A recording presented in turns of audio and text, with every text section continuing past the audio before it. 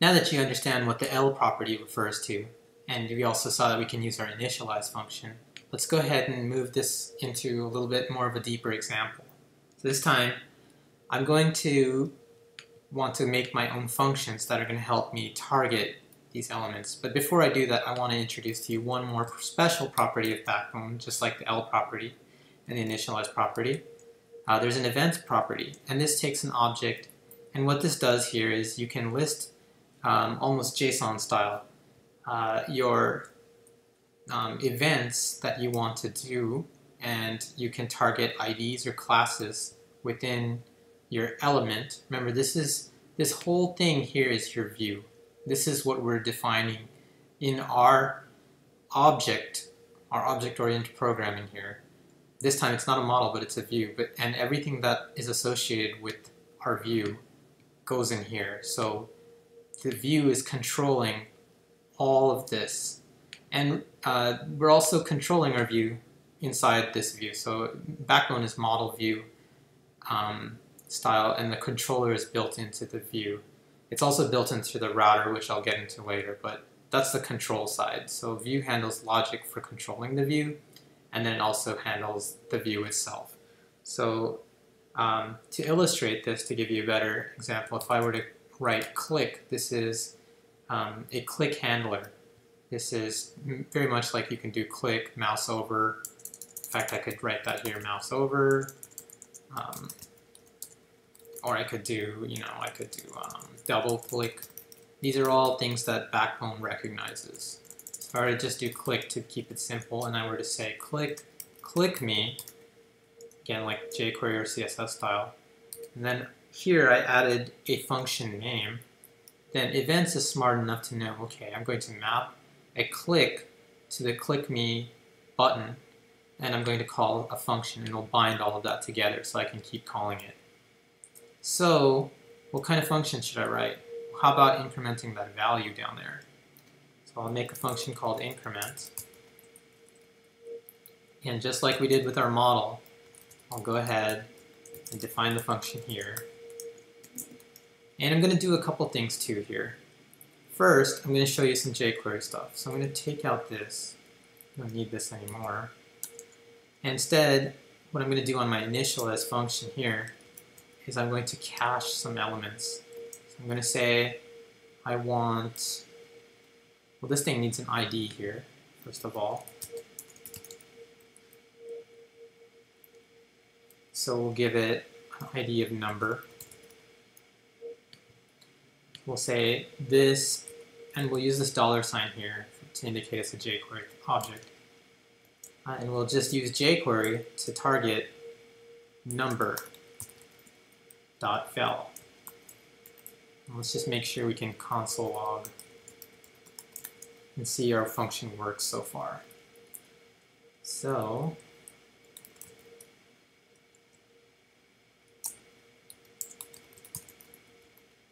see if this works. And here I'm going to have to do this on a brand new HTML page. So the way to do that, if you've been following along the whole time, I would just go to download from my JS bin.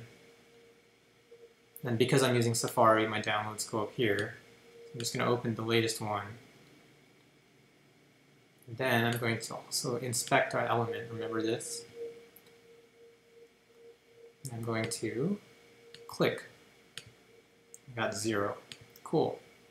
I click again, it's still zero. And that makes sense because every time I'm clicking the button, I'm just getting the value. We want to do something meaningful. We want to increment that value. That's what the function's called anyway, right? So let's go ahead and this time we'll just say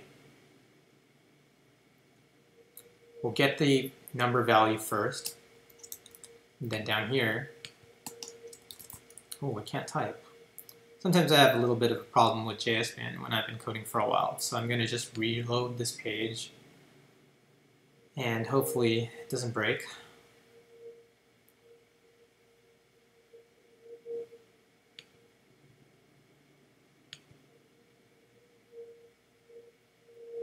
Okay, cool. Uh, it's a bit buggy there. Okay, so I'm going to just go ahead and put in this number. And this time I'm just going to do this number plus plus. And I'm going to console log the number so we can see that it's incrementing. Also make sure I put in that semicolon just so we have it. Okay, so let's go back to our page. Actually, we're going to need a fresh new page because uh, that's why I have so many pages here, so I'm going to clear this all out. And uh, we're going to download this page again. Now here I've got an index HTML file which I built here just recently. And um, you can do that using, you know, Sublime.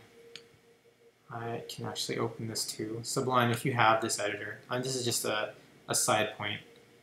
But if you don't like using JSBin because, you know, if it crashes, uh, you can also still like copy all this and put it into a text file and then open it from your browser, I mean from your desktop, just like here.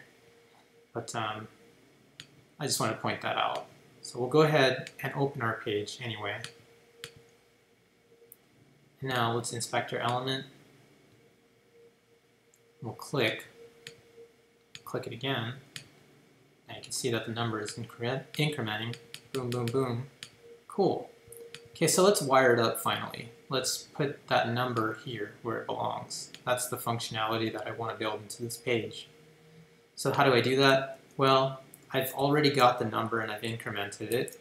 Now I've console logged it here to prove that the number keeps getting incremented. So I've cached it here. I got the value one time. This is what I'm doing, and I'm storing it inside this view. I don't need to keep getting the value anymore. I already have it. So now this treats it as a variable, just a property within my view. And I can keep showing the number by incrementing it, and then console logging it. And then I want to target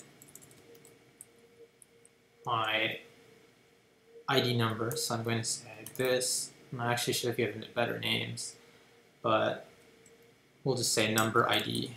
That way we know the difference between what these things are. And we'll just say Actually, I'm sorry. I already have it.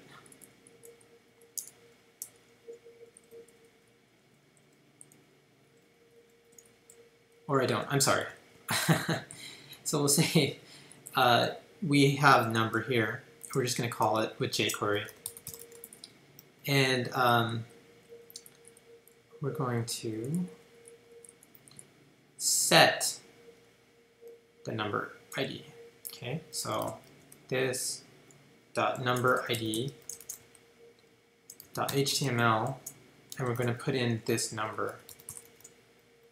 And actually, it's not HTML; it's actually value. So it's VAL. So these are Java's. Um, these are jQuery methods, VAL.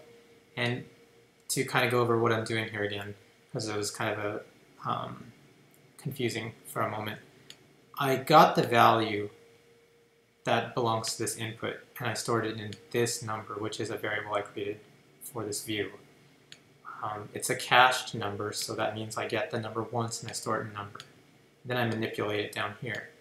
Over here, what I'm doing is I'm grabbing the HTML element now, number, and storing it in number ID. So I'm going to increment my number.